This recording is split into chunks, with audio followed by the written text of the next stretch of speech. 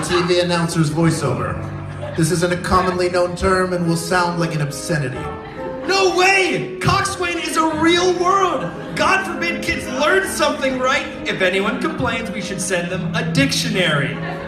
Approved in this context.